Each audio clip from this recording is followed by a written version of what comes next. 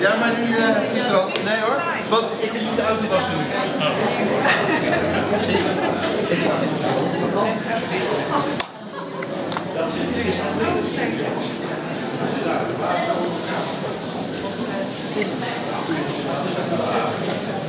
Lithografie is vlakdruk. Er is geen hoogteverschil tussen beeld en niet-beeld. Hoe kan dat nou? Dat kan door gebruik te maken van het principe dat water en vet elkaar afstoot. Het niet-beeld, en dat kan je hier ook heel goed zien. Het beeld is waterafstotend en vet aantrekkend, dus drukinkt aantrekkend. Ja. En het eh, niet-beeld is wateraantrekkend en drukinkt afstotend. Dus zolang je de poriën van het steen nat houdt, zal het niet-beeld de inkt niet accepteren. En dat gaan we nu zien. Ah, ik moet wel een beetje in mijn bril natuurlijk.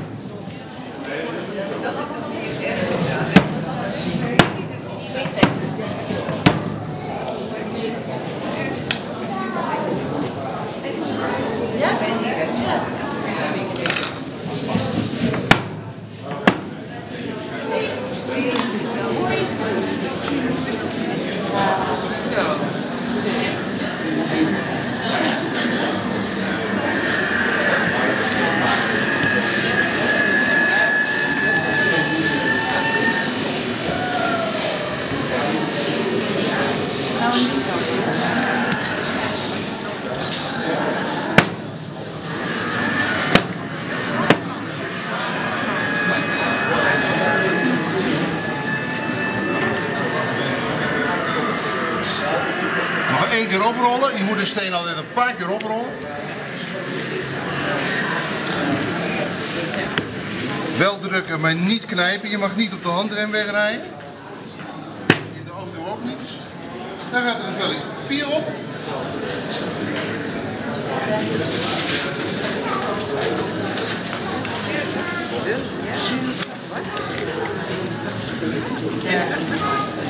Je zou denken dat eh, elke pers allemaal rollen en walsen zijn. Maar bij een lithopers is dat niet zo.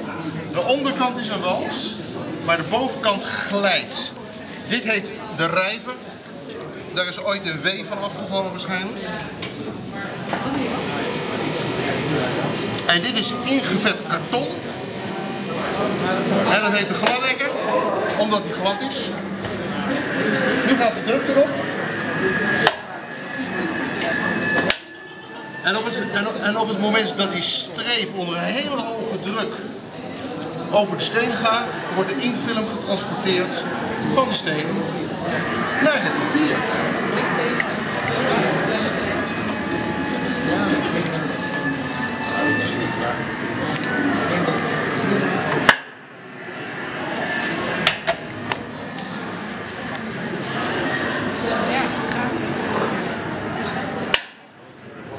Kijk eens, en Toets heeft het magische optelmoment op een film. Maar Archaeopteryx heeft het live.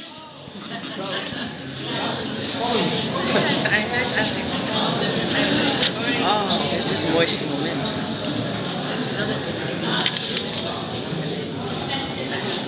En wat je dus ziet, dit is directe druk. Het papier ligt direct op de drukvorm. Dus is de druk altijd het spiegelbeeld van wat op de drukvorm staat. Heet offset offset? Omdat het wordt overgezet. Het staat leesbaar op de drukvorm. Het staat onleesbaar op een rubberdoek. En het, en het rubberdoek geeft het weer over aan papier. wa- Waardoor het dus alleen maar onleesbaar op het rubberdoek staat en weer leesbaar op het papier.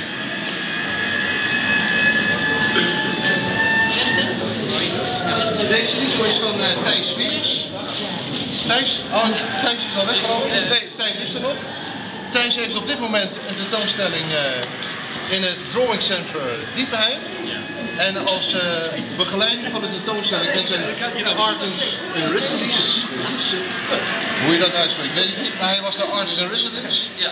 En uh, toen mocht hij een lito maken bij mij. En die hangt daar te pronken in Diepenheim. Diepenheim is een uh, vrij onogelijk dorp, maar met een prachtig drawingcentrum. Met prachtige tekeningen en prachtige grafiek. En dit is wat Diepenheim heeft uitgegeven van Thijs Veers en wat, ik een, uh, wat we een paar maanden geleden hebben gemaakt. Uh, als, je, als je nog geïnteresseerd bent in het werk van uh, Thijs Veers, www.thijs met een H achter de T en uh, Thijs met IJ, lange ei, en Zweers met een Z en verder zoals je het uitspreekt.